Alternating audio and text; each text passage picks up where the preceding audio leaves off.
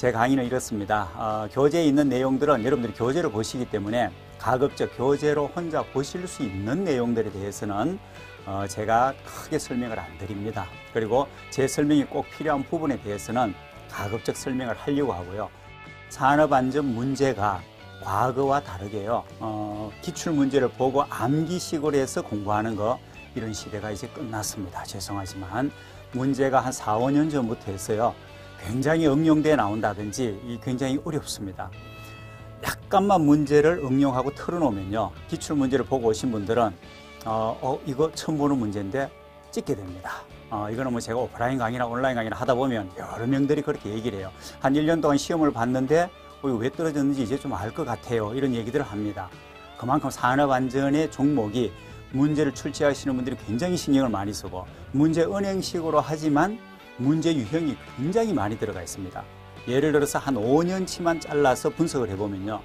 같은 문제가 거의 없습니다.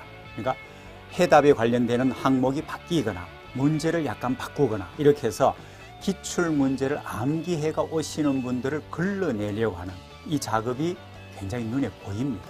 감을 잡아야 되고 이해와 개념을 바로잡지 않고는 그 문제 얄팍하게 문제 형태만 봐가지고는 대응하기 어렵다 하는 거 이거 명심하셔야 됩니다. 1과목이 가장 힘듭니다. 죄송하지만 왜냐하면 법규 내용이 많아서요. 암기해야 될 게 많습니다.